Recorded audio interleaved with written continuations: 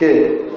প্রথম জন না আল্লাহর বান্দা গোনা করে, আল্লাহর কাছে তবা করে গোনা করে, আল্লাহর কাছে তবা করে। গোনা করতে করতে তবা করতে করতে ও আল্লাহর অলি হয়ে যায়। কিন্তু বান্দা যখন মনে করে, কেউ আমাকে তরাই নেবে ঈসা নবী ওকালতি করে দেবে, উকিল হয়ে যাবে তখন ও আর তবা করে না। ও গুণা করে আর ঈসা মসজিদ দিকে খেয়াল রাখে গুণা করে আর ঈসা মসজিদ দিকে খেয়াল রাখে। গুণা করতে করতে ও মানবতা হারিয়ে পশুতে পরিণত হয়ে যায়। যখনই কেউ মনে করে, কেউ সবাই জানে যে আল্লাহ সব দেখছে। যখন মনে করে যে কেউ আমার আল্লাহ মাফ না করলেও আল্লাহ যতই দেখুক ঈশা নবী, অমক নবী, অমক অলি বলে দিলে আল্লাহ আমাকে ছেড়ে দিতে বাধ্য থাকবে। কেউ আমাকে তরাই নিতে পারবে। এই রকম বিশ্বাস আসার সঙ্গে সঙ্গে ওই ব্যক্তি যখন মুশেক হয়ে যায়, ওই ব্যক্তি তখন দুর্নীতিবাজ হয়ে যায়। ও আল্লাহর এবাদত কিছু করে, কিন্তু ও খুন করে, ফাঁকি দেয়, লুটপাট করে, হারাম উপার্জন করে। আর খেয়াল রাখে আমি যতই অন্যায় করি, অমুক আমাকে তরায়ে নেবে। আর এই বিশ্বাসটাই আরবদের ভিতরে আসছিল। যে জন্য আমরা প্রথমে প্রশ্নটা করেছিলাম, আরবের কাফেরেরা আল্লাহকে মানত, আল্লাহকে এক মানত। কোরআনে অনেক জায়গায় আসে আল্লাহর ইবাদত করত, কিন্তু আল্লাহ ছাড়া কোনো মাহবুদ নেই, সেইটা মানত না। তারা বিশ্বাস করত, আল্লাহ এক, আল্লাহর ইবাদত করতে হবে। তবে তারা বলতো, আল্লাহর জিনিস আল্লাহকে দাও। তবে আল্লাহর কাছ থেকে কিছু পেতে গেলে তুমি ডাইরেক্ট আল্লাহকে ডাকলে পাবে না। আল্লাহর যারা প্রিয়, তাদের মাধ্যমে যেতে হবে। যেমন একজন রাজা, বাদশাহ, প্রেসিডেন্ট, প্রধানমন্ত্রীর কাছে ডিসি এসপির কাছে তুমি ডাইরেক্ট যেতে পারো না। কোনো একজন ডিসি এসপির প্রিয় ব্যক্তির মাধ্যমে গেলে সে তোমাকে অনার করবে। ঠিক তেমনি আল্লাহর কাছে তোমার মতো গুণাগার ডাইরেক্ট চাইলে পাবে না। তুমি যদি আল্লাহর মাহবুব বান্দা ইব্রাহিম, ইসমাইল আবু সেহক সোয়ানাস এদের মাধ্যমে যাও, তাহলে আল্লাহ তোমার কথা শুনবে। এই মাধ্যম বলে যাদের তারা মানতেন, তাদের নামে মানত করতেন, তাদেরকে সাজদা করতেন, তাদের মূর্তি বানাতেন, তাদের মাজারে চলে যেতেন। আল্লাহ রসুল সাল আলী ওয়াসাল্লাম বললেন যে ইয়াগুস সুয়ানস তাদের ভক্তি করতে হবে। ইব্রাহিম, ইসমাইল, মুসা আইসা তাদের ভক্তি করতে হবে। তাদের জন্য আল্লাহর কাছে দোয়া করতে হবে।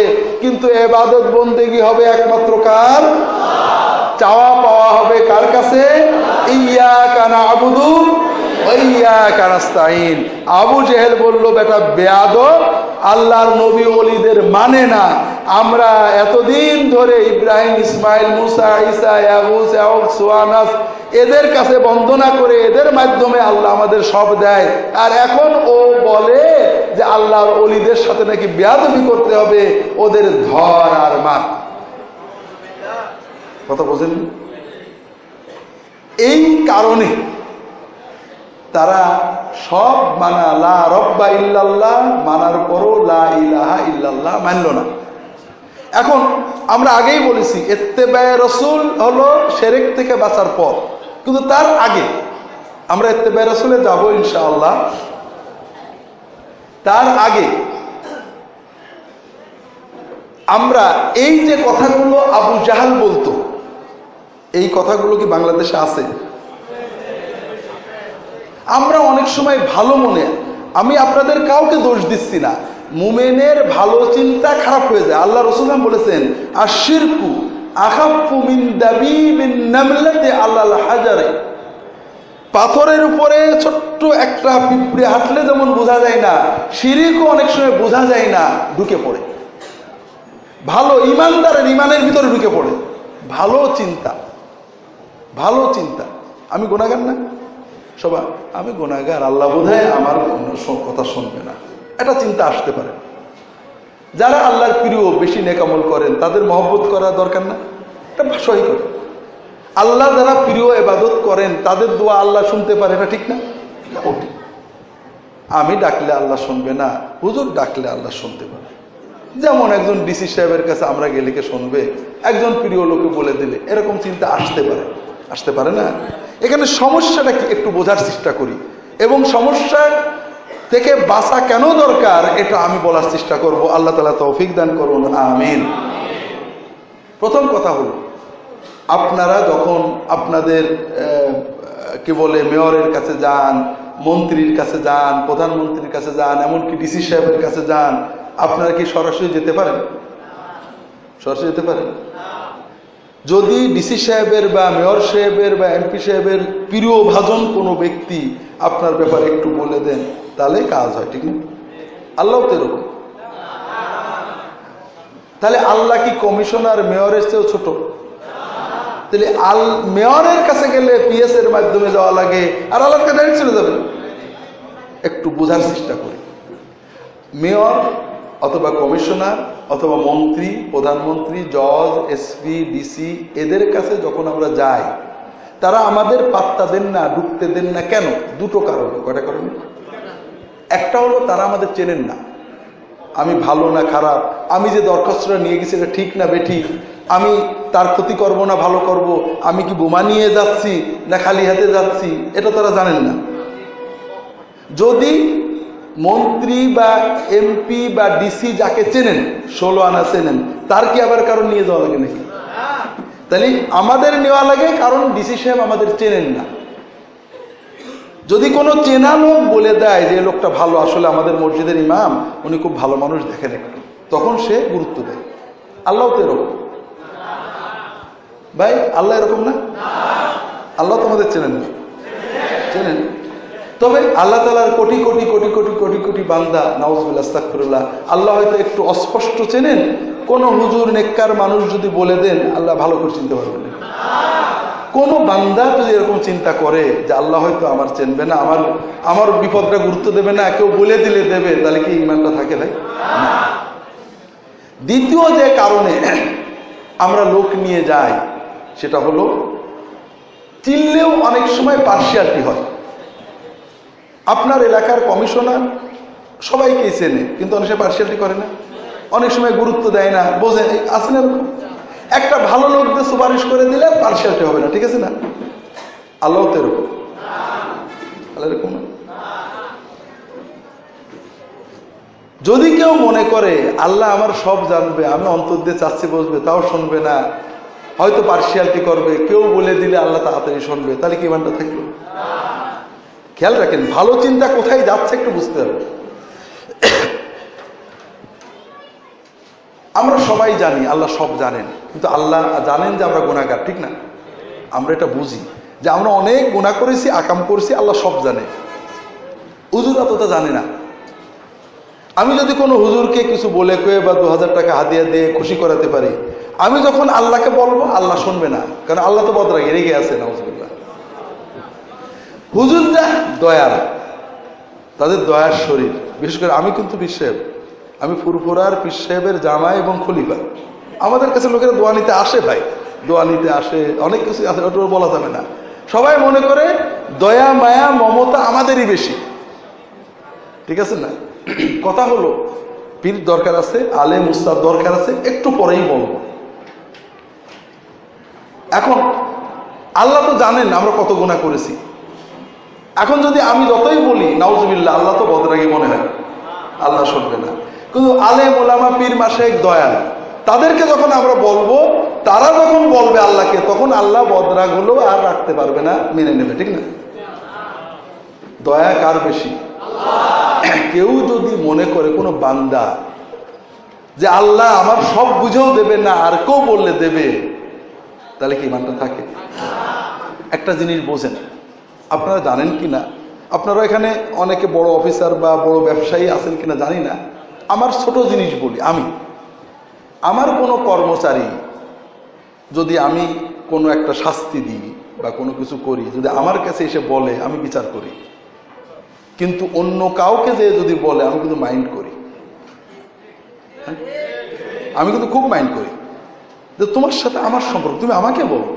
তুমি একজন কাছে তাহলে প্রমাণ করলে যে আমি খারাপ লোক। ওর কাছে আমার দোস্তর কাছে প্রমাণ করলে যে আমি খারাপ লোক। আমি কিন্তু মাইন্ড করি। আপনারা করেন কিনা জানি না।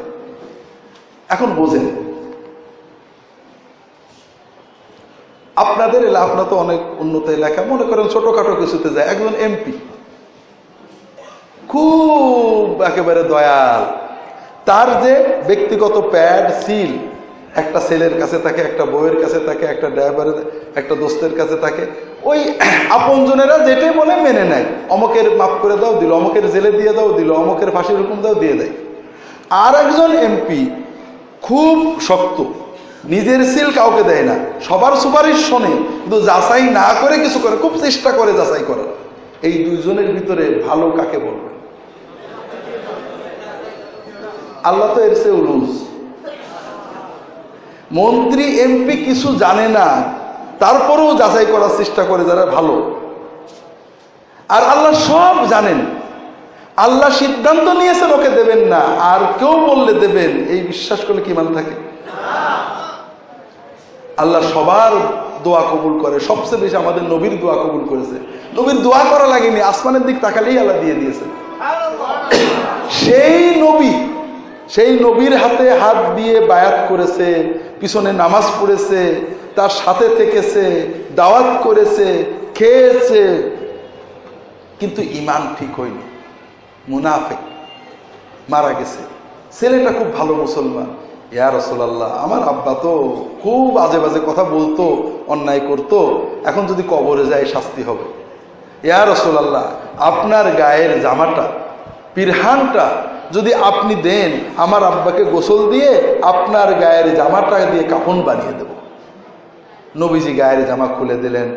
যে জামা একটু আগে নবীজির মুবারক দেহের সাথে লেগেছিল, ওই জামাটা আবদুল্লাহ ইবনে সালুলের গোসলের পরে গায়ের সাথে লেগে গেল। নবীর কাপড় ভেদ করে কি কবরে আজাব দিতে পারবে নাকি? জানাজা নবীজি পড়ালেন। নবীজি দোয়া করলেন, আল্লাহ একে মাফ করে দাও। কবরে লাশ নামানো হয়ে গেছে। নবীজি বললেন, নিয়ে আসো। পুরো লাশের সারা গায়ে হাত বুলায় ফু দিয়ে দিলেন। নবীজির হাত, নবীজির ফু, নবীজির জামা, নবীজির দোয়া ভেদ করে কবর শাস্তি দিতে পারবে নাকি? আল্লাহ কোরআনে বললেন, না, সত্তর বার এরকম করে দোয়া করলেও লাভ হবে না। আমি মাফ করব না।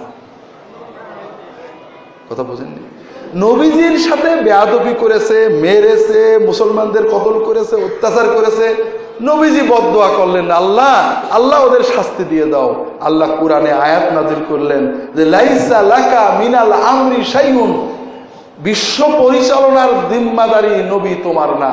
আমি যার সাবো মাফ করব, যার সাবো শাস্তি দেব। নবীজি যাদের নাম ধরে বদোয়া করলেন, কষ্ট পেয়ে হক বদোয়া করলেন, আল্লাহ তাদেরকে ইমান আনিয়ে দিলেন। তাহলে? এখন আসি। জরুরি কথা। কোর্টে উকিল লাগে না?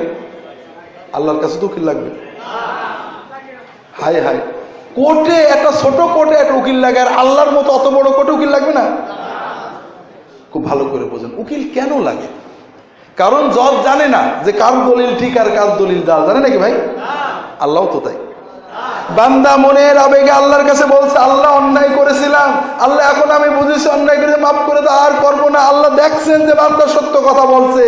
এরপরও আল্লাহ দেবেন না, আরেকজন ওকালতি করা লাগবে। এই চিন্তা করলে কি মান থাকে নাকি আল্লাহ কোরআন করিমে ছয়, সাত জায়গায় বলেছেন, কাফা বিল্লাহ ওকিলান ওই যে খ্রিস্টানরা বলে, যীশু খ্রিস্ট আমাদের জন্য আল্লাহর কাছে উকিল হবে। উকিল শব্দটাই ব্যবহার করেছে।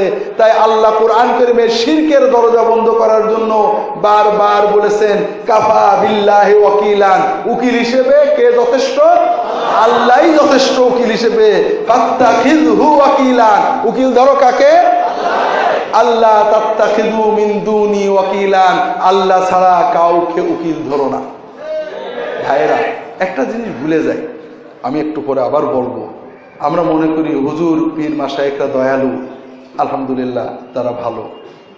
আমরা মনে করি আমাদের নবী দয়ালু রহমতুল্লাহ আলমী সহি কথা, কিন্তু সবচেয়ে বেশি দয়াকার এটার জন্য আমরা ভুলে যাই। আমরা দয়াল দয়াল বলতে যে, যিনি মায়ের সে সকল সৃষ্টির সে শত কোটি গুণ বান্দাকে দয়া করেন, তার দয়ার কথাটা আমরা ভুলে যাই। ঠিক আছে না ভাই? এবার আসেন আমরা আরও ভালো করে বোঝার চেষ্টা করি। আগে যে প্রশ্নটা করছিলাম না, ওটাতে যাই। ছোট বাচ্চাদের সবচেয়ে বেশি মারে কে? মা আনা বাবা? তাহলে মা, বাচ্চাদের বড় দুশ্মন কে? হ্যাঁ? এখন একটা ছোট বাচ্চা মনে করল, আমার মা তো বদরাগী। আর আমিও তো মার কথা একশোটা বললে পাঁচটা শুনি।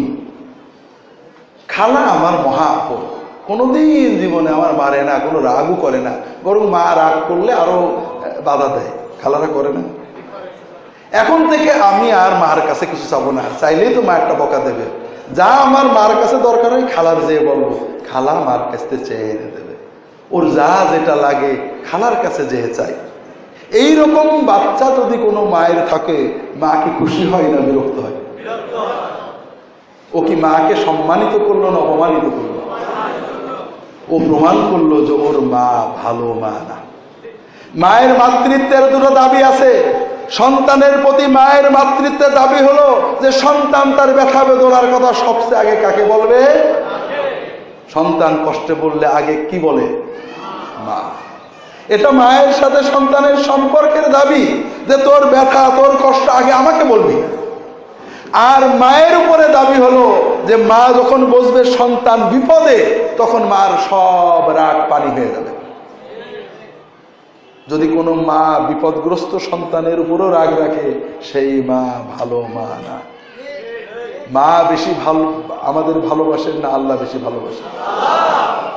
যে আল্লাহ কোরআন কেরিমে বলেছেন যে আমি কাফেরের দোয়া শুনি قل ما يعبأ بكم ربي لولا دعاؤكم فقد كذبتم فسوف يكون لزاما সূরা ফুরকানের শেষ কথা আল্লাহ কাফেরদের বলছেন তোমরা শুধু দোয়া করো আল্লাহকে চাও এই জন্য তো আমাদের আপনাকে ধ্বংস করিনি নইলে ধ্বংস করে দিতাম কাফের দোয়া করে কাফের মুশরিক সেও যখন আল্লাহর কাছে বিপদে দোয়া করে আল্লাহ তার দুনিয়ায় বান্দাকে দেন কথা বুঝেন না যেটা বলছিলাম ভাইয়েরা মা, আমার মা, আপনার মা, এখন যারা মা, অনেক সময় ছেলেকে রাগ করে বলে, যা, দূর হয়ে যা, আর কোনদিন আমার মা ডাকবি না শুনেছেন নাকি এরকম? যা, আর আর কোনদিন বাড়ি আসবি না। একটা ছেলে, ভালো ছেলে, সব কথা শুনে না, মার এই কথাটা শুনল। তাড়াতাড়ি কাপড় চোপড় নিয়ে খালার বাড়ি চলে গেল। আছে নাকি এখন ছেলে? ওর যে মাতৃত্বের প্রতি ইমান আছে, ওই ইমান দিয়েও বোঝে যে মা এ কথা বলেছে চলে যাওয়ার জন্য না, মাকে জয় করার জন্য। আল্লাহ বান্দাকে কষ্ট দেন, বিপদ দেন।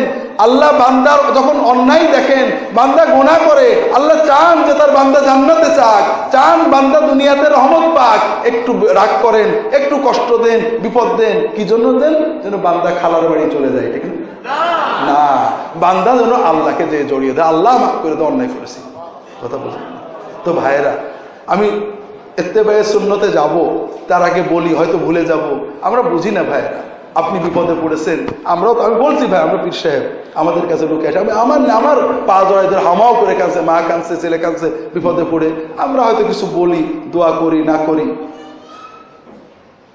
দোয়া আল্লাহ কবুল করেন, নেককারদেরও করতে পারেন। কেন করতে পারবেন না নেককার মানুষ? কিন্তু দোয়া কবুলের জন্য কিছু শর্ত আছে। চোখের পানি, মনের আবেগ। আপনারা কি দেখেছেন? আপনারা যখন আমাদের কাছে দোয়া চান, হুজুর, আমার বাচ্চার অসুখ, দোয়া করেন। আপনার চোখে পানি পড়ছে। আমার কি পড়ে? আমি কি বলি চোখের পানি দিয়ে আল্লাহ আমার এই ভক্তের বলি। পীরসেবরা হুজুররা, মৌলানারা, ইমামরা দোয়া করে, কেঁদে কেঁদে করে তাহাজতে করে, নিজের জন্য করে। কিন্তু আপনার জন্য তখন দোয়া করে, চোখের পানিতে করে নাকি? কিন্তু ভাইরা আপনি চোখের পানিতে বুক ভাসিয়ে আমার পা জড়ে ধরেছিলেন। কিন্তু এই কান্নাটা যদি আল্লাহর কাছে কানতেন আপনার চোখের পানি আল্লাহর সামনে ফেলতে বিপদও চলে যেত আপনি আল্লাহর অলি হয়ে যেতেন।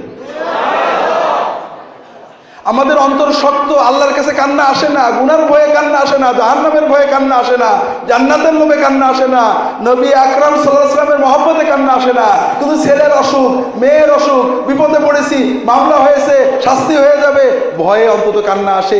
এই ভয়ের কান্নাও যদি আমি মালিকের কাছে কানতে পারি, চোখের পানিটা মালিকের কাছে ফেলতে পারি, আমি আল্লাহর অলি হয়ে যাব। আমাদের যারা ডিজিটাল প্রজন্মের ছেলেরা আমার জানে, অনেক জায়গায় আমি কথাটা বলেছি, আপনাদেরও বলি। আমি যখন টিভি ইসলামিক টিভিতে প্রশ্ন উত্তর করতাম, এক ভাই আসলেন আমার কাছে। বিজয়নগরে, ঢাকায়, তার একটা জমি ছিল জমি তার ডেভেলপারকে দিয়েছেন দলিল।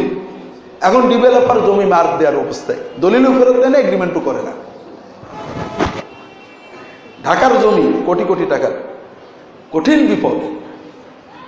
অনেকেই বুদ্ধি দিয়েছে। উনি বলছেন যে, হুজুর, আমাদেরকে অনেকে বুদ্ধি, অমুক হুজুরের কাছে যাও, জেন দিয়ে করে দেবো, অমুক হুজুরের কাছে তদবির দিয়ে দেবে। কিন্তু আপনারা ইসলামিক টিভিতে মশলা দেন যে, এই জেন টেন তদবির টদবির ইমান নষ্ট হয়ে যাবে। হুজুর, সুন্নত তরিকায় কি কোনো বাঁচার উপায় নেই? তা আমি বললাম যে, দেখেন, কিছু দোয়া আছে, মানুষের জুলুম থেকে বাঁচান নবীজি শিখিয়েছে আপনি এই দোয়াগুলো নিয়ে যান। আমার একটা বই আছে, রাহে বেলায় ওই বই থেকে কয়েকটা দোয়া, তিনটে চারটে দোয়া আমার যত মনে পড়ল তখন লিখে দিলাম ঠিক দিয়ে দিলাম যে দোয়াগুলো অর্থ সহ মুখস্থ করবেন তার যদি নামাজের শেষ দেয় এই দোয়াটা করবেন হাত তুলে নামাজের পরে করবেন, অন্যান্য সবাই করবেন, যখনই সুযোগ পান আল্লাহর কাছে কামবেন আল্লাহ হয়তো দিতে পারে। মাসখানেক পরে ওই লোকটা এসে বলতো, হুজুর, একটা সুখবর। ওই লোকটা হঠাৎ আমাকে দলিলটা দিয়ে চলে গেছে। তা আমি তো বললাম আলহামদুলিল্লাহ ভাই, খুব ভালো কথা। বললেন না হুজুর, মনে একটা কষ্ট আছে। তো কষ্ট কি? তো হুজুর, জীবনে তো আল্লাহর কাছে কাঁদতে পারেনি। জমির মায়ায় আপনার কথা মতো তাহাজ্যতে সত্যিই হুজুর চোখের পানিতে কাঁদতাম। হুজুর, এত শান্তি লাগতো অন্তরে। এখন আমার মনে হচ্ছে, ওই দলিলটা যদি আরও এক বছর পরে দিত, আমি যদি আরও এক বছর আল্লাহর কাছে কাঁদতে পারতাম, কতই না মজা হতো। তো ভাইরা আল্লাহ আমাদেরকে কষ্ট দেন বিপদ দেন। যেন আমরা আল্লাহর কাছে কান্দি, আমরা দুনিয়াও পেয়ে যাব, আল্লাহর অলিও হয়ে যাব। তো ভাইরা এদিকে আর লম্বা বলব না, দেরি হয়ে গেছে। এই যে আমাদের সমস্যা, শিরিকের ভিতরে পড়ে যাচ্ছি, গোনার ভিতরে পড়ে যাচ্ছি, এর থেকে বাঁচার একটাই উপায় এতে রসুল সাল্লাহ কোনো ঝগড়া করব না, কারোর সাথে কোনো ঝগড়া করব না। আমার যে কথা আছে, আমার ইমানের দাবি কি আপনাদের বলেছি বা এবাদতটা কত কার করব? এই এবাদতের তরিকাটা কার থেকে দেব আমরা সাধারণ মানুষ, অবশ্যই আলেমের কাছে যাব, পীরের কাছে যাব, নেককার বান্দাদের কাছে যাব, অবশ্যই যাব। পীর বলেন, নেককার বলেন, আল্লাহওয়ালা বলেন, সাদেকিন বলেন, তাদের কাছে যেতে হবে। কি জন্য? সহবত নেওয়ার জন্য, তাদের কাছে বসে ইমানকে উজ্জীবিত করার জন্য, আমলের জজবা পাওয়ার জন্য। কথা বোঝেন না? আমরা সবাই ভালো কথা জানি। দাড়ি রাখা যে নবীর খুব ওয়াজিব শূন্য আমরা সবাই জানি না? তারপরেও দাড়ি চাষি, কিন্তু একজন নেককার আল্লাহওয়ালার আলেম, বুজুর্গের সহবতে এক দুই সপ্তাহ পরে থাকলে দাড়ি রাখার মতো একই এসে যায়। বুঝেন না? এর নাম সহবত। সাথে থাকা সাথী হওয়া মুরিদ না। মুরিদ শব্দ আব্দুল কাদের জিলানি রাহেমাহুল্লাহ, কারোর মুরিদ হননি। মুরিদ শব্দটা ছিল না। সহবত নিয়েছেন, সাহেব হয়েছেন, সাহেবা দাব্বাস দাব্বাস নামে প্রথমে আলেম হয়েছেন, দাব্বাস নামক একজন বুজুর্গের সহবতে গিয়েছেন, নিজের ভিতর তো অহংকার দূর করো, আল্লাহর সাথে এবাদতের জজবা তৈরি হওয়া, যেতে হবে। আমি আলেমের সহবতে যাব মশলা শেখবো, নেককারদের সহবতে যাব, তাদের কাছ থেকে নেক আমল করার জজবা নেব, মহাব্বত নেব, কিন্তু এবাদতটা কার হবে? তরিকাটা কার হবে? যদি আমি নেককার মানুষটাকে আল্লাহর জায়গায় বসাই দিই, তাহলে কি মানটা থাকবে? একটু বোঝেন। আমার দুইজন মুরিদ মনে করেন, বেশি না, আমি ছোটখাটো পীর হিসেবে মনে করেন দুইজন মুরিদ আছে। একজন মুরিদ, আমার প্রচণ্ড ভক্ত, দুইজনই ভক্ত। একজনের একই যে তার ভালো মন্দ যা হয়, আমার দোয়ায় আমার দোয়ায়। সে তার যখনই কষ্ট হয়, পা পিছলে গেছে, ছেলেটার জ্বর হয়েছে, ছাগলটার অসুখ হয়েছে, দোকানে লস হয়েছে, মামলা হয়েছে, নিশ্চয় হুজুর রাগ করেছে। হুজুরের সাথে বেয়াদবি হয়ে গেছে। ওর মনটা কার কাছে ছোটে? যখনই ওর কোনো নিয়ামত পায়, ভালো জিনিস পায়, যখন টাকা লাভ হয়, ছেলেটা পাশ করে, উপকার হয়, বিপদ কেটে যায় হুজুরির দোয়ায় আল্লাহ দেশে ওর অন্তরটা কার কাছে ঘরে? আর এক মুরিদ, সেও আমার ভক্ত। কিন্তু তার একই হলো, যা দেন কে? সে আমার ভক্ত। হুজুর, আমার খুব ভালো হুজুর। সহি সহি সুন্নত দোয়া আমাকে শিখিয়েছে। দোয়াগুলো করে খুব উপকার পাচ্ছি। আল্লাহ হুজুরের অনেক সব দোয়া যা যায় খায়ের দিক। কিন্তু দেয়া নেওয়ার মালিককে ওর যখনই কোনো কষ্ট হয়, বিপদ হয়, হাত ভেঙে যায়, পা ভেঙে যায়, অসুখ হয়, বিসুখ হয়, আল্লাহ, আমি গোনা করেছি তাই দেশো আল্লাহ, তুমি মাফ করে দাও। ওর অন্তরটা কার কাছে ঘুরে? মালিকের কাছে ঘুরে। ওর যখনই কোনো ভালো হয়, উপকার হয়, লাভ হয়, টাকা আসে সুখ সংবাদ আসে আল্লাহ, তুমি দয়া করে দেছো অন্তরটা কার কাছে থাকে? আমার এই দুই মুড়িদের ভিতরে আল্লাহর বলি কে হবে? আর প্রথম জন মুর্শেক ও আল্লাহর জায়গায় আমাকে বসিয়ে ফেলেছে। কথা বুঝতে পারবেন তো ভাইরা পীরকে পীরের জায়গায়, নবীকে নবীর জায়গায়, আল্লাহকে আল্লাহর জায়গায় রাখতে হবে। মাহবুদের জায়গায় কে? দেওয়া নেওয়া, চাওয়া পাওয়া, ভরসা, সবকিছু কার কাছে? শেখাবেন কে? তরিকা নেব, কার মাধ্যমে দিন শেখবো? হ্যাঁ পীর মাসায়েক আলেম উলামা আমাদেরকে নবীর তরিকায় আল্লাহর ইবাদত করতে শেখাবে আপনি আলেমের কাছে যাবেন, পীরের কাছে যাবেন, বুজুর্গের কাছে যাবেন, নবীর তরিকায় আল্লাহর এবাদত করা শেখার জন্য। আলেম যদি ভুল মশলা দেয়, আপনার গুণা হবে না, আপনার যাওয়া আসা আল্লাহর কাছে পথে জিহাদের মতো সওয়াব হয়ে যাবে। কিন্তু আপনি যদি মনে করেন, অমুকের কাছে যাচ্ছে, উনি বিপদ কাটাবেন, ওনার কথায় আল্লাহ শুনে দেবে, ইমানটা নষ্ট হয়ে কারণ চাওয়া পাওয়া কার কাছে? ইউনুস আলাইসালাম মাছের পেটে পড়ে কার কাছে ছিলেন? সেরেক কীভাবে অতি মানে সহজেই ইমানে ঢুকে যায়, একটা উদাহরণ মনে পড়ল, এটা বলে আমি সুন্নতের দু একটা কথা বলে শেষ করে দেবো ইনশাল্লাহ লম্বা হয়ে গেছে, আমি এতদূর বলতে চাইনি। সাহাবায়ে কেরাম হুনাইনের যুদ্ধে। হুনাইনের যুদ্ধ হয়েছে একদম নবুয়াতের শেষে মক্কা বিজয়ের পরে। সাহাবায়ে কেরাম বারো হাজার। মক্কা থেকে তায়েফে যাচ্ছে। তায়েফে কাফেররা আল্লাহ মানত না মানত না? মানত। তায়েফে যাওয়ার পথে একটা গাছ আছে। জাত আনোয়ার কি জিনিস? মানে লটকানো, সুতো বান্ধার গাছ। আরবের কাফেররা আল্লাহর বরকত পাওয়ার জন্য ওই গাছে তরবরি বেঁধে দিত, সুতো বেঁধে দিত, ওড়না বেঁধে দিত, যেন আল্লাহ মনের মাকসুদ পূরণ করেন, বরকত দেন। তখন মুসলমানরা কারা?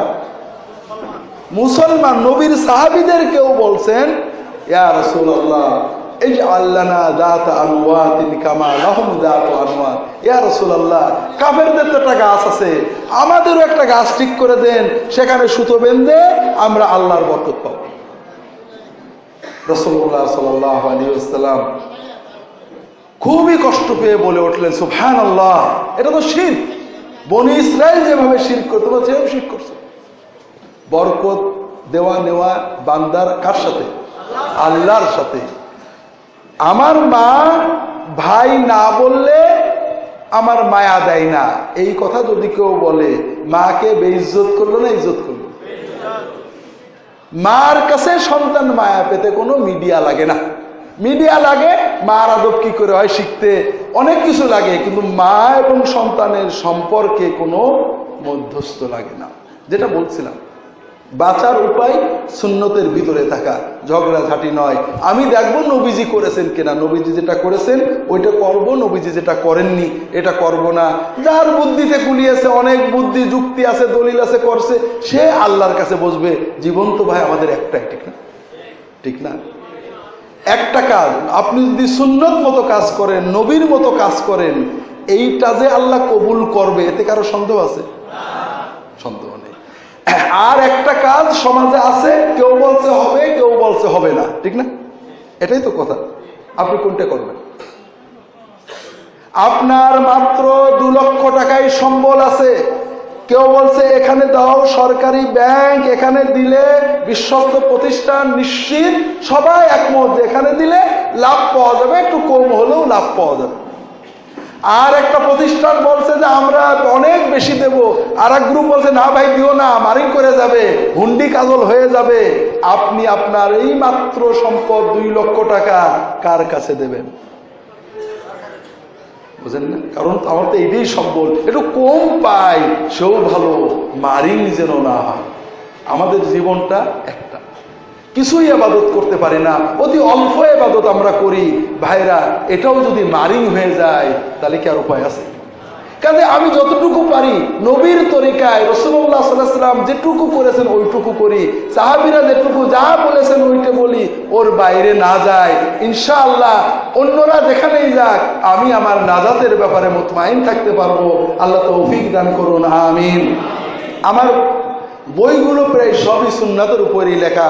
তার ভিতরে এহিয়া সুনান হলো পুরোটাই সুন্নত। কীভাবে অকাট্য দলিল দিয়ে সুন্নতের বাইরে আমরা চলে যাই? সুন্নত থেকে খেলাফে সুন্নত। এটাকে দিন মনে করলে বেদাত কীভাবে হয়?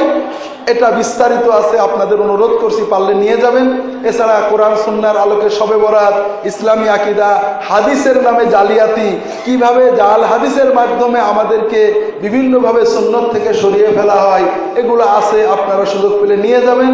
আমি আজকের আলোচনা আর লম্বা করছি না, অনেক দীর্ঘ আলোচনা হয়ে গেছে। আল্লাহ তালা আমাদের যা কিছু বললাম, ভুল ত্রুটি মাফ করে কবুল করে নিন, আমিন। ওমা তৌফিক ইল্লা বিল্লাহ। সুবহানাকা আল্লাহুম্মা বিহামদিকা, আশহাদু ইলাহা ইল্লা আনতা, আস্তাগফিরুকা খুব ঘন ঘন, আমার আসলে শরীরটা ক্লান্ত। ও, একটা অনুরাই আছে, জি জি। আমার আমার শ্যালক এক মিনিট। আমার শ্বশুর ফুরপুরার মরম পিসা বুজুরের ছেলে এবং তার দিনসীন ফুরপুরার পীর আব্দুল হাই মিসকাত সিদ্দিকী, তিনি আপনাদের চট্টগ্রামে আসেন প্রতি বছরই। এবারও এগারো বারোই ফেব্রুয়ারি বৃহস্পতি শুক্রবার আসবেন পলো গ্রাউন্ড রেলওয়ে কলোনি ময়দানে। তিনি ওয়াজ করবেন, আপনাদের দাওয়াত দিচ্ছেন।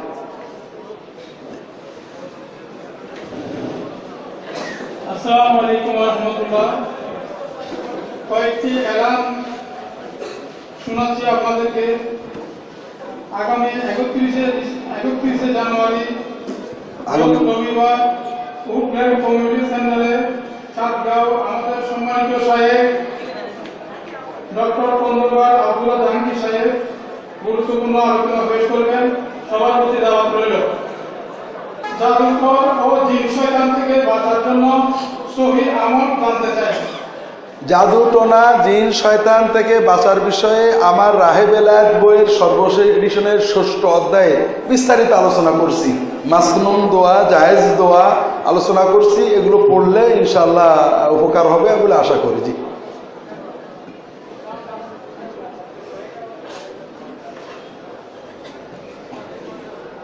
দ্বিতীয় প্রশ্ন, নামাজের বাহিরে ও ভিতরে কোন ধরনের আমল। রাসূল সাল্লাল্লাহু আলাইহি ওয়াসাল্লাম ও সাহাবী সাহাবী রাদিয়াল্লাহু তাআলা করতেন বিশেষ করে ফরজ নামাজের পরপর নামাজের পরে, সালাম ফেরানোর পরে রসুল্লাহ সাল্লাম তিনবার ইস্তেকফার আল্লাহ সালাম তেত্রিশ বার তসবি তাহলিল তাকবীর, এরপরে আয়তুল কুরসি এবং বিভিন্ন দোয়া পড়তেন, মোনাজাত পড়তেন। এগুলো আমার একটা ছোট বই আছে, মোনাজাত নামাজ। এছাড়া রাহে বেলায়াতে সব দোয়াগুলো অর্থ সহ উচ্চারণ সহ বিস্তারিত দেওয়া আছে। এগুলো তো একবারে বললে আপনি মুখস্থ করতে পারবেন না, এগুলো পড়তে হবে। তৃতীয় প্রশ্ন, কোরআন ও হাদিসের আলোকে সমাধান দিতে কতটুকু যুক্তিযুক্ত না দেশে প্রচলিত ফতোয়া বই? ফতোয়ে আরবি ফতোয়ে স্বামী। থেকে সমাধান যুক্তিযুক্ত? আমাদেরকে সঠিকভাবে জানালে উপকৃত হবে ফতোয় স্বামী ফতোয় আলমগুরি এগুলো কোরআন আলোকেই তারা দিয়েছেন। তবে কোরআন, সুন্না চিরন্তন, আর ফতোয়া যুগের আবর্তনে পরিবর্তন হয়। এজন্য মুফতিদের উচিত প্রত্যেকটা ফতোয়া দলিল খুঁজে, বিশেষ করে যারা আমরা হানাফি ফকি, ইমাম আবু হানিফা রহমতুল্লাহ আলাইহি এবং তার ছাত্ররা মোতাবাতের ভাবে একেবারে নিজেরা লিখে রেখে গিয়েছেন যে আমরা কোন দলিল থেকে কথাটা বললাম, দলিল না জেনে কেউ ফতোয়া দেওয়া জায়েজ নয়। এই জন্য মুফতিদের জন্য এই দলিলগুলো জানা, পর্যালোচনা করা উচিত।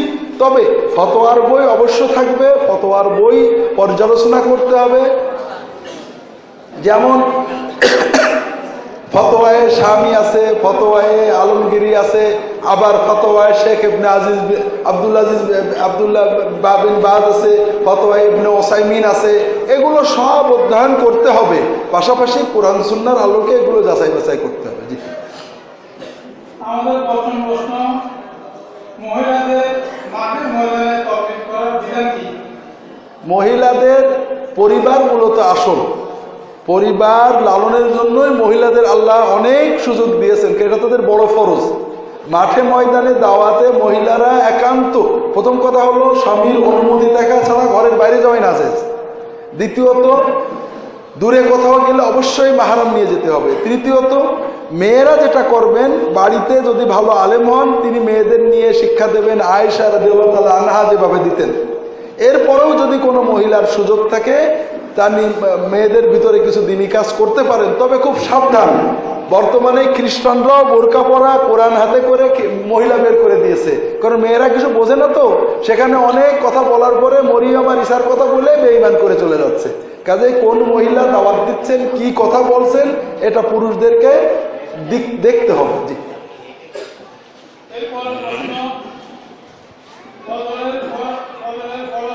শুরু হয়ে গেলে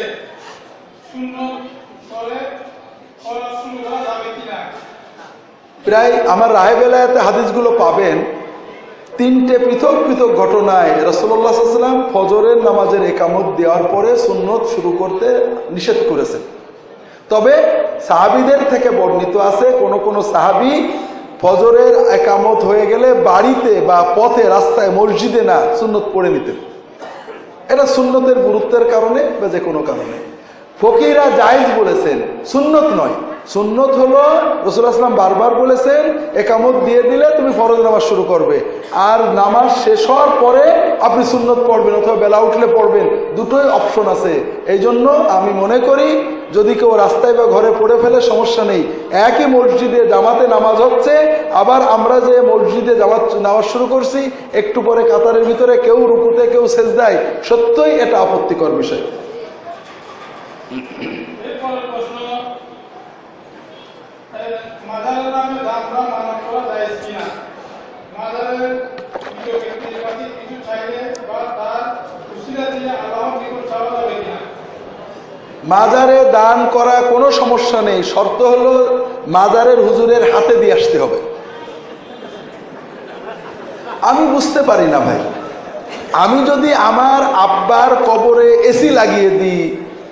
অথবা ছাগল জবই করে রেখে দিই, আব্বা কি পাবে?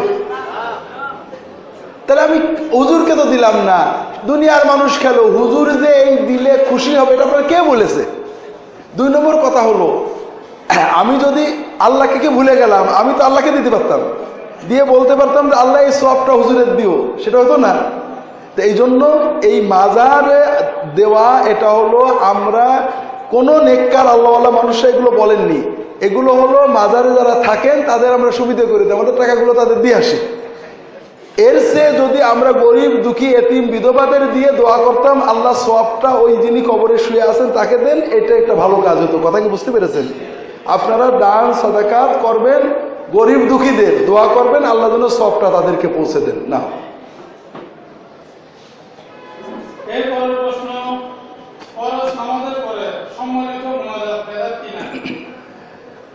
বেদাত কি কর্ম না বেদাত চিন্তা? ফরজ নামাজের পরে রসুল্লাহ সাল্লাম একাকি মোনাজাত করতেন। রসুল্লাহ সাল্লামের মাদানী জীবনে প্রায় আঠারো হাজার অক্ত জামাতে নামাজ পড়েছেন। এর ভিতরে এক অক্ত জামাতেও তিনি সম্মিলিতভাবে মোনাজাত করেছেন, এটা নেই। তবে একাকি যে করেছেন, এটা অনেক আছে। নামাজের পরে ব্যক্তিগত তাজবি, তাহলিল। এই জন্য একা করা সুন্নত, সম্মিলিত করা সুন্নতের খেলাফ দাঁড়িয়ে কোরআন পড়ার মতো। এখন যদি কেউ সম্মিলিত করাটাকে একা করার সে উত্তম মনে করে, একা করাটাকে কম মনে করে, তাহলে ওই একই রকম সে সুন্নতকে ছোট মনে করল, তখন ওটা কি হলো? তবে আমি আবারও বলি, আমরা কর্মের কথা বলি, মানুষের কথা না, আবারও আবারও বলি খুব ভালো করে খেয়াল রাখবেন, আপনারা প্রশ্ন করেননি, আমার বলা হয়নি। একটু জরুরি কথা বলেনি, প্রশ্নটা একটু রাখেন। বিষয় হলো, আমরা যখন কোনো কাজের কথা বলি কাজটা শীত অথবা বেদার, আমরা কাজের সমালোচনা করি, মুসলমানের সমালোচনা করি না। একটু বোঝেন। মনে করেন এইটা এক টুকরো গু। পাক না পাক? পাক না পাক? এইটা আমি এই বোতলের ভিতরে দিয়ে দিলাম। গুও না পাক পানিও এই গুটা নিয়েই এই আপনাদের নদীর ভিতরে দিলাম। কর্ণফুলী নদীতে ফেললাম। গুও না পাক কর্ণফুলী নদীর সব পানিও কে গু তো গুই আছে না পাক পানি না পাক হবে না। এই গুটা নিয়েই যদি সমুদ্রে একটু এগিয়ে যে বঙ্গোপসাগরে রাখেন, তাহলে গুটা আর গুই থাকবে না। একটু পরে লবণে খেয়ে শেষ করে দেবেন। ঠিক না? আমরা কর্মের কথা বলি, এটা সুন্নত নয়, এটা বেদাত। কিন্তু কোনো মুসলমান যখন এই কর্ম করেন, তিনি কি শুধু একটা কর্মই করছেন আরও কিছু করছেন? মুসলমান যখন নেকামল করেন, খারাপ আমল করেন, আমরা কোনো মুসলমানের সমালোচনা করব না, বলব যে এই কাজটা খারাপ। বিশেষ করে আলেম, ওলামা, নেককার মানুষদের নেক কর্মকে আমরা বড় করব। ভুলগুলোকে অবশ্যই ভুল বলব, কিন্তু তাদের বিষয়ে খারাপ চিন্তা করা, খারাপ কথা বলা, এগুলো আমরা করব না। কথা বুঝতে পেরেছেন? আর এই সব বিষয় নিয়ে ঝগড়া করবেন না। সমাজে অনেক জিনিস আছে, আমরা নিজের জন্য সুন্নত, সহি সুন্নত পালন করব। উম্মতের জন্য আমরা আস্তে আস্তে তাদেরকে বিকল্প সুন্নত দেওয়ার চেষ্টা করব। না বলো এরপরে প্রশ্ন ডাক্তার জাকির নায়েক সম্পর্কে আপনার মতামত কি ডাক্তার জাকির নায়ক তো পয়গম্বর, ঠিক না ভাই? হ্যাঁ? ডাক্তার নাকির নায়ক দিনের দায়ীদের একজন দায়ী। তিনি দিনের জন্য দাওয়াতি কথা বলেন, ভালো কথা বলেন। আমার জানা মতে ইসলামের কঠিন কোনো বিরোধী কথা তিনি বলেছেন আমার জানা নেই। তিনি আসলে ইসলামী অন্যান্য ধর্মের সমালো- আলোচনায় কথা বলেন, ভালো কথা বলেন। তবে তিনি মানুষ তিনি ভুল বলতে পারেন। যদি তার কোনো কথা ভুল হয় পার্টিকুলারে আমরা বলব যে তার এই কথাটা ভুল। কিন্তু আমভাবে ঢালাও যেভাবে আমরা গালিগালাজ করি, এটা সত্যই মানে দিনই চেতনার বিরোধী। কথা বুঝেছেন একজন মানুষ নামাজ পড়ে, রোজা রাখে, হজ করে, জাকাত দেয়, শুধু আমার মতো মিলাদ পড়ে না, অথবা আমার মতো মোনাজাত করে না। এখন নামাজ, রোজা সব বাদ দিয়ে দিলাম মোনাজাতের কারণে, এটা কি ভালো হলো নাকি? এই জন্য মানুষের ভালোটাকে ভালো করতে হবে। আপনারা জানেন, আল্লাহর নিয়ম হলো একটা গুণা করলে আল্লাহ একশোটা গুণা দেন, ঠিক না? আর একশোটা নেকি করলে একটা সোয়াব দেন। আল্লাহর নিয়ম কি? গুনার একটাই, আর সোয়াব বাড়বে এই জন্য মানুষের ভুলকে ভুল বলবেন, গঠনমূলক সমালোচনা করবেন, তার এই কথাটা ভুল, এটাতে সমস্যা নেই। না সাইকের কাছে আরেকটা বিশেষ প্রশ্ন মানুষ মারা গেলে ষাট দিন বা চল্লিশ দিন চেহারা কুটুখানি হজম হরস মৃত্যু ইত্যাদি পালন করা হয়। আসলে এগুলো যায় কিনা?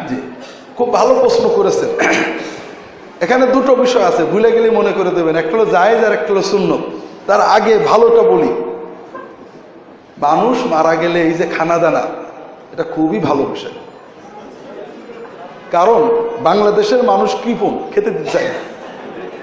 মাত্র দুটো খানা ফ্রি একলো বরযাত্রী খানা, আর একটা মানুষ মরে গেলে খানা। বরযাত্রীও তাও সবাই পায় না। মরে গেলে সবাই পায়। এই জন্য যখনই কেউ মরে, আমাদের লোভে লাল পড়ে। এই জন্য আমরা বলি যে, বাপটা মরে গেল, কিছু খাওয়াইলো না। তার মানে মেয়েটার বিয়ে দেশে খাওয়াইনি মেনে নেওয়া যায়। ছেলেটার বিয়ে দেশে খাওয়াইনি মেনে নেওয়া যায়। কিন্তু বাপ মরার মতো এত বড় একটা সুসংবাদ তাতেও খাওয়াইলো না। এটা মেনে নেওয়া যায় না। কেউ যদি মারা গেলে খাওয়ায়, সেক্ষেত্রে আমার মনে হয় একটা দোয়া তার জন্য করা উচিত, যে আল্লাহ এই বাড়ির লোকেরা খুবই ভালো। মানুষ মারা গেলে খুশি হয়ে মানুষদের খাওয়ায়। আল্লাহ এদের বাড়ির জন্য ঘন ঘন মানুষ মরে আর ঘন ঘন আমরা খেতে পাই। সত্যই কষ্ট লাগে ভাই। মানুষ মারা গেলে কোনো খানা। এবার আসেন শূন্যতে জায়েজ আর শূন্যত এক না।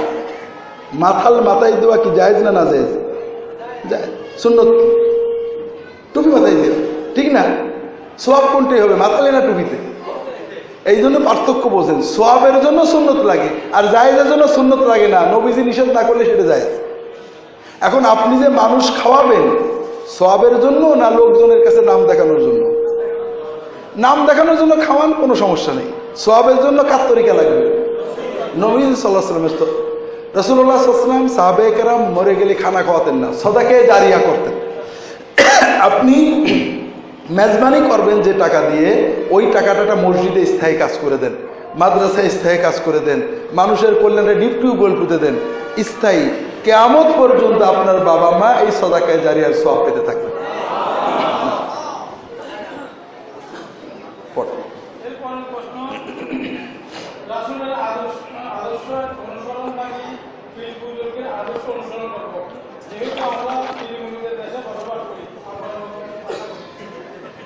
আমি নিজেও পীর মুরিদির পক্ষের লোক। আর বিশ্বাস করেন, আমাকে অনেকে এই ফেসবুকে লেখে যে আপনি অনেক ভালো কথা করেন, তো পীর মুরিদি করেন কে? কথা হলো, এই যে প্রশ্নটা, আমি এই প্রশ্নের সাথে একমত না, এর ভিতরে ডালমেকুস কালা হাই এই প্রশ্নর অর্থ হলো বুজুর্গরা নবীজির বিরোধী, ঠিক না? প্রশ্ন করলেন কি? যে নবীরটা মানবো না পীর বুজুর্গের মানবো? মানে নবী যা করেছেন বুজুর্গরা করেন, নেই তো? তাহলে আমরা কিন্তু সচেতনভাবে বা অচেতনভাবে পীর বুজুর্গদেরকে নবী বিরোধী বানিয়ে দিলাম। এটা হলো প্রতারণা। কোন আল্লাহর অলি বুজুর্গ আল্লাহর নবীর তরিকার বাইরে যাননি। আমি আজকে ইচ্ছা ছিল মূলত প্রথমে আব্দুল কাদের জিলানি রহমতুল্লাহ আলহের উপরে বলা, কারণ আপনারা ফাতে আজধাম করেন ওনার জীবন বলা ওনার বই নিয়ে। দেখবেন, আব্দুল কাদের জিলানি শুরু থেকে শেষ ওনার বইগুলোতে শুধু সুন্নতের কথা বলেছেন। এমনকি আমরা কাদেরিয়া তরিকা বলে যা বলি ওনার বইয়ে কিচ্ছু পাওয়া যায় না। মনিদুল চিস্তি রহমতুল্লাহ আলহি তার বইয়ের ভিতরে তার রাহাতুল কলুব, রাহাতুল সব সুন্নত আমলের কথা বলেছেন। কিছু হয়তো জৈব সুন্নত আছে, কিন্তু আমরা যে তরিকাগুলি এগুলো নেই। এগুলো বুজুর্গদের নামে আর এক ধরনের জালিয়াতি। বুঝেছেন? এই জন্য আমরা অবশ্যই বুজুর্গদের মহব্বত করব। আর একটা জিনিস আপনাদের বলি। একটা বিশাল জামাত মনে করেন এক কোটি লোকের একটা জামাত ইমাম কয়জন হবে? মুকাব্বির? অনেক হতে পারে। মুকাব্বিরের কাজ কি? ইমাম তখন বলবে, সামে আল্লাহ হলিমান হামিদা মুকাব্বির বলবে, আল্লাহ আকবার ইমাম যখন বলবে, সামে আল্লাহ হলিমান হামিদা মুকাব্বির বলবে, আসসালাম আলাইকুম রহমতুল্লাহ হ্যাঁ মোয়াজিনে মুকাব্বিরের কাজ হলো ইমামের কথাটা মুক্তাদিদের কাছে পৌঁছায় দেওয়া। মোয়াজিনের নিজস্ব মুকাব্বিরের নিজস্ব কোনো কথা থাকে না। ঠিক না? এখন মনে করেন, আপনি তো হজ করেছেন প্রায় সবাই। মিনাতে ঘন ঘন তাবু ঠিক না? এই তাবুর তাকবির, ওই তাবুতে শুনে ওই তাবুর এখন দেখা গেল আপনার ইমাম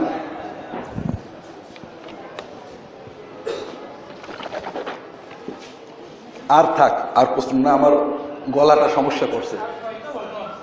নইলে দেখা যাবে কাল আর কথাই বেরোবে না। শেষ করিনি।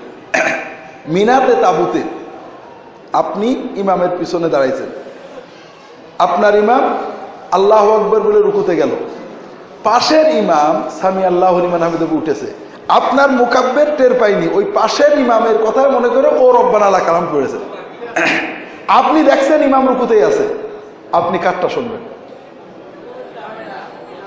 কথা বলেন? তাহলে আমাদের পীর বুজুর্গরা হলেন মুকাব্বির। আমাদের ইমাম একমাত্র মোহাম্মদ সাল্লাহ তার তরিকা বুজুর্গরা আমাদেরকে পৌঁছে দেন। যদি কখনো এমন ঘটে যে একজন বুজুর্গ তিনি একটা সুন্নতের ব্যতিক্রম করেছেন, আমরা নবীরটা মানব। একটা উদাহরণ দিই। একটা সুন্নতের কথা বলি। রসল্লাহ সাল্লাম সুন্নত নামা ঘরে পড়তেন। কোথায় পড়তেন? ঘরে পড়তেন। মসজিদে পড়া না যায় না, মসজিদে পড়া যায় তবে রসুল্লাহ সাল্লাম ঘরে সুন্নত পড়ে মসজিদে দিতেন, আবার মসজিদে ঘরে পড়তেন। এটা সহি সুন্নত আমি এটা বললাম, আপনি আমল শুরু করলেন। আর একজন তাহকিক শুরু করল, কিন্তু একজন বুজুর্গে চলে গেল। হ্যাঁ আজকাল সব নতুন নতুন কথা বলছে। আমার পীর ও মুর্শিদ ওলিয়ে কামেল, ফুরফুরা, দাদা হুজুর, ফুরফুরা, আব্বা হুজুর, আজীবন চল্লিশ বছর তার সহবতে ছিলাম। হুজুর সবসময় মসজিদে সন্ন্যত পড়তো। আর ও কোথায় নবীর তরিকা নিয়ে আসছে। আরে রসুল্লাহাম ঘরে পড়তেন এটা বিশেষ কারণে। কিন্তু মসজিদে পড়াটাই উত্তম। আমার হুজুর আজীবন পড়েছে, আমরা বুঝলাম না। মসজিদে পড়লে মানুষ দেখবে, শেখবে, মসজিদে পড়লে মসজিদের বরকত পাওয়া যাবে। কাজেই আমি ঘরে পড়ব না, মসজিদেই পড়ব। এটা কি হলো? সন্ন্যতের ব্যতিক্রম না সন্ন্যতকে ছোট করা। এটা বেদাত হলো। হুজুর বেদাত করেননি, হুজুর সুন্নতের খেলাফ করেছেন। কারণ ওটা তো যায় কিন্তু আপনি হুজুরের অজুহাত দিয়ে সুন্নতকে এনকার করলেন। না কার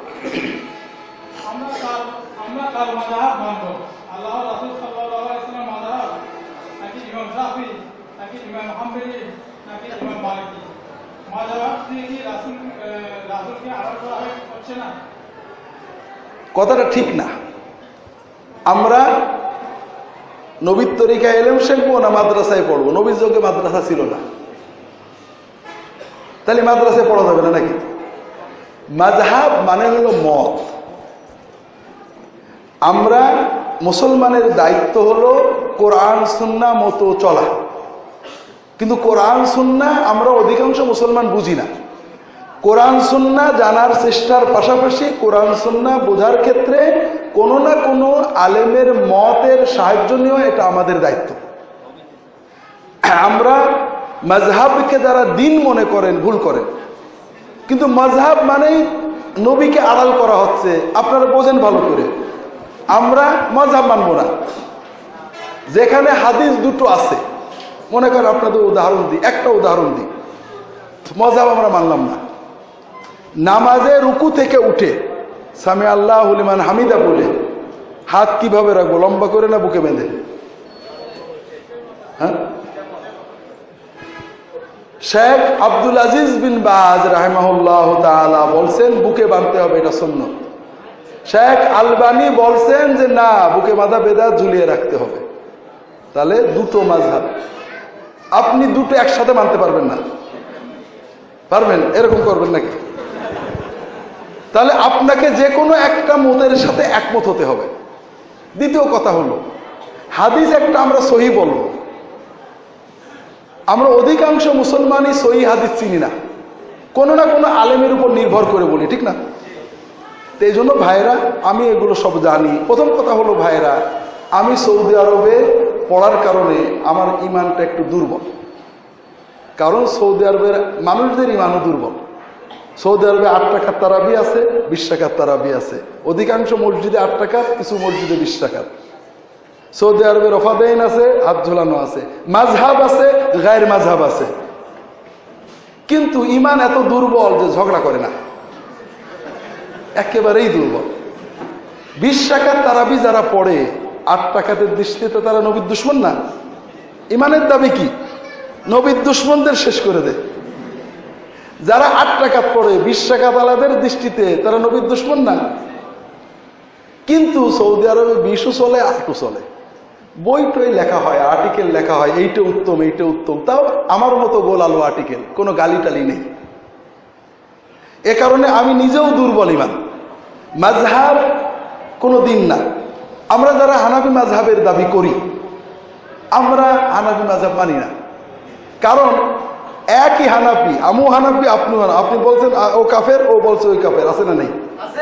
একই ইমামের সব মানে মুত্তাবে মোকাল্লেদ তো একজন একজন কাফের পর তার মানে আমরা আসলে আসলে মূলত মাঝহাব মানা না মানা সাধারণ মানুষের কিছুই না। সাধারণ মানুষের দায়িত্ব হলো এলাকার আলেমদের থেকে দিন পালনে সহায়তা নেওয়া, পাশাপাশি কোরআন সুন্না নিজে চর্চা করতে থাকা। এ ব্যাপারে যতটুকু আমি পারিছি মাঝহাব কি, কোথায় দরকার, ইশতেহাদ কোথায় লাগে, আমার একটা বই আছে, সালাতের ভিতরে হাত বাঁধার বিধান। হাত কি নাভির নিচে, না ঝুলিয়ে, না বুকে, না কানে, কীভাবে রাখবেন, হাদিসগুলো কি সহি না জয়ীব, সবগুলো আলোচনা আছে। শেষ অধ্যায়ে মাঝহাব কীভাবে হয়? মাঝহাব মানে দিন না। মাঝহাব হলো সুন্নাটাকে বোঝার জন্য আলেমদের পরামর্শ। এটাকে যারা দিন মনে করে, তারা যেমন মাঝহাবের নামে জালিয়াতি করেন, আবার মাঝহাব মানেই ভুল। আর মাঝহাব না থাকলে নবীর সামনে আসলেন, এখন মনে করেন একামত দুইবার করেও সহি একবার করেও সহি এখন আপনি কি করবেন? আমি গতবারে চট্টগ্রামে আসছি, একজন প্রশ্ন করছে আপনাদের ভালো মানুষ। যে স্যার, ইসলাম কি করে চার চার পাঁচ রকম হয়? ইসলাম তো এক হবে।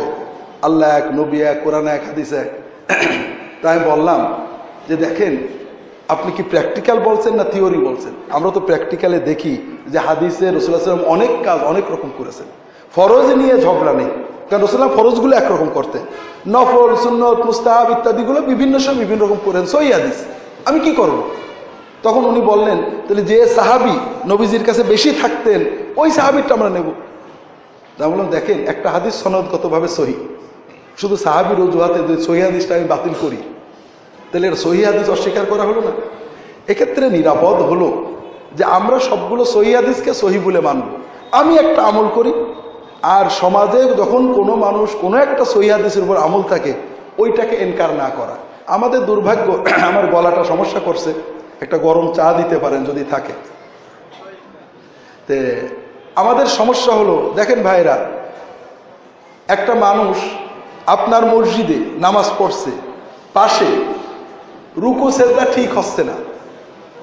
আপনারা কি কোনো প্রতিবাদ করেন? হ্যাঁ? রুকু সেজদা ঠিক না করে নামাজ পড়ো তো হানাফি মাজাবের নামাজ, ঠিক না? আবু হানিফা তো বলেছেন, রুকু সেজদা ঠিক করো না। হানাফি মজাবেও রুকু, সেজদা ঠিক না হলে নামাজ হবে না। কিন্তু আপনারা কি এটার প্রতিবাদ করেন? কিন্তু একজন রফাদাইন করলে প্রতিবাদ করেন। হানাফি মাজাবের কোন জায়গায় আছে যে রফাদাইন করলে প্রতিবাদ করতে হবে? নেই। এটা মাঝহাবের নামে আমরা বাড়াবাড়ি করি। আবার হাদিসের নামে বাড়াবাড়ি করছি। আমাদের দাওয়াত হবে সহি আকিদার, সহি ইমানের। ফেকের ব্যাপারে একাধিক মত থাকতেই পারে। সাহাবিদের যুগ থেকেই ছিল। বললাম তো গোলাল ওমারকে ইমান আমার সৌদি আরবে আরও দুর্বল হয়ে গেছে। এক্ষেত্রে আমি বলব যে, এইটা আমার কাছে উত্তম মনে হয়। এটা আমার মাঝহাব।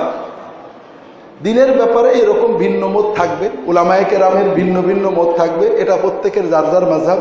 মাঝহাব হানাফি, মালিকি, শাফি, হাম্বলি সব মাঝহাবেই ভালো ভালো আলেম আছেন। আমাদের শেখ, আমাদের উস্তাদ আব্দুল আজিজ বিজবান রাহেমাউল্লাহ কতবার বলতে শুনেছি যে দেখো আমি হাম্বলি মাঝহাবের লোক। আনা হাম্বলিউল মাঝহাবি সালাফিউল আকিদা। আমি হাম্বলি মাঝহাব অনুসরণ করি, আকিদাই সালাফি। তাহলে মাঝহাব তারা অনুসরণকে হারাম বলেননি। আবার যে মাসলাই মাঝহাবের চেয়ে অন্য মাঝহাব ভালো পেয়েছেন, নিয়েছেন। যেমন হাম্বলি মাঝহাবে অলংকারের জাকাত নেই, ব্যবহৃত অলংকারের। আব্দুল আজিজ বাহার ফতোয়া দিয়েছেন, ব্যবহৃত অলংকারের জাকাত লাগবে। এটা হানাফি মাঝহাবের মতো তো যাই হোক, এগুলো নিয়ে আমরা বাড়াবাড়ি না করি। মাঝহাব মানাতে, যেমন মাদ্রাসায় পড়াতে এলেম মানে আড়ালে হয় না। তবে মাদ্রাসা উপকরণ, এটা মূল এবাদত না। এটাকে মূল এবাদত মনে করলে সমস্যা। না। আমার বাপ দাদারা সহি আমল জানতো না তারা কি জাহান্নামী? না না না না না না খবরদার। আমার কাছে একজন আসছে। বৃদ্ধ মানুষ সত্তর পঁচাত্তর হবে। এক হাতে রাহে বেলায়েত আর এক হাতে মাকসুদুল মুমিনিন। বলছে যে বাড়ি চুয়াডাঙ্গা আলমডাঙ্গা। বলছে যে হুজুর আমি রাহে বেলাত পড়েছি আমল করি। অনেকে বলে কেউ বুঝলো না আবদুল্লাহ জাহাঙ্গীর কোথায় পেল? এত লোকে আমল করে। কিন্তু হুজুর, নবীর কথা জানার পরে আমি নবীর তরিকার বাইরে কি করে যাই? আমি রাহে বেলায়ত আমল করি। তবে হুজুর, এই যে এত বুড়ো বয়স পর্যন্ত মাকসুদুল মহিন আমল করেছি, হুয়াল হাইউল কাইয়ুম, এর আছে না? নামাজের পরে। হুজুর, আমার কি কিছুই পাবো না? তা বললাম কেন পাবেন না? আপনি কি আল্লাহর নাম নিয়েছেন না অন্যের নাম নিয়েছেন? আল্লাহর নাম নিইনি। এটা সব পাবে যে সবের কথা মাকসুদুল মুমিন লেখা ওইটা পাবে না। কিন্তু মূল এবাদতে তো সব পাবে। দুই নম্বর কথা হলো, তারা জানেননি, অনেক নেকামল করেছেন। তারা সহি তরিকা জানতেন না, নামাজ তো জানতেন, রোজা তো জানতেন। কাজেই তারা আমল করেছেন, জানার বাইরে যে ভুল ভ্রান্তি, আমরা তাদের জন্য ইস্তেকবার করব মাপ আল্লাহ তালা কবুল করে নেন।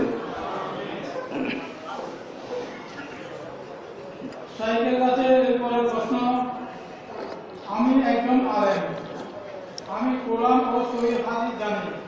কিন্তু সামাজিক প্রেক্ষাপটে তাল মিলিয়ে চলি। সেহেতু আমার আর্থিক অবস্থা দুর্বল শাইখের মতামত জানতে চাই। না, কথাটা এরকম নয়। সহি হাদিসের সাথে সমাজের মিল, অমিল দেখতে হবে। আপনি তাল মিলানোর জন্য শিরিক করবেন, বেদাত করবেন, এটা হতে পারে না। তবে সমাজে যদি একাধিক আমল থাকে, যেটা মাঝহাবি ফিকি রফাদেইন আছে নেই, জোরে আমিন আছে নেই, এখানে সমাজের প্রচলনকে মেনে চলাটাই সালফে সালাহিনের বোধ এখানে কোনো সমস্যা নেই। দাওয়াতের জন্য। এই জন্য আপনি যদি সমাজে তাল মিলানোর নামে বেদাত করেন শিল্প করেন, এটা হতে পারে না। কিন্তু যদি সমাজের ফিকি বিষয় নিয়ে আপনি বুঝতে পারছেন, এইটা হয়তো একটু জোরালো, এইটা একটু দুর্বল, আপনি চেষ্টা করতে হবে সই আমলটা করার। পাশাপাশি এটা এবনে তাইমিয়া রাহেমাউল্লাহ এবনে তাইমিয়া রাহেমাউল্লাহ হচ্ছে বেশি সহি হাদিসের বড় আলেম খুব কমই ছিলেন। তিনি লিখেছেন যে একটা আমল হয়তো হাদিসের আলোকে বেশি সহি। তাকবির, ঈদের তাকবির রফাদাইন জোরে আমিন, সালাতুল ভিতির কিন্তু সমাজে যদি বিপরীত আমলটা চালু থাকে, ওই আমলটা করলে ফেতনা বিশৃঙ্খলা হয় ইমামের প্রতি মানুষের বদ্ধারণা হয়। ইমাম যেটা প্রচলিত আছে অন্য হাদিসে আছে মারজু হলেও তার জন্য ওই আমলটা করাই আরজা অর্থাৎ অধিকতর উত্তম। না। আমার এক ভাই সব সন্তানকে বেদাতি বলে জামাতে নামাজ পড়ে না। এই উদ্দেশ্যে আপনি কিছু বলুন। ইন্না আলিল্লাহি ওয়া ইন্না ইলাইহি রাজিউন। আমি আজকে বলতে পারি, এটা খুব ভালো করে শোনেন। মুসলমানদের খ্রিস্টান বানানোর জন্য দুটো মূল অস্ত্র ছেড়েছে খ্রিস্টানরা। একটা হলো কোরআন মানো, হাদিস মেনো না।